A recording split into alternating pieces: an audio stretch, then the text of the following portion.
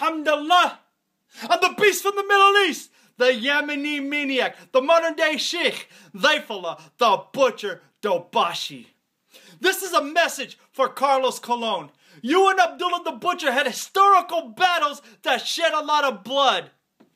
Carlos Colon, if you start to feel sorry or interfere with what I did to Abdullah, va a ser el próximo. Hus! Hus! Allah!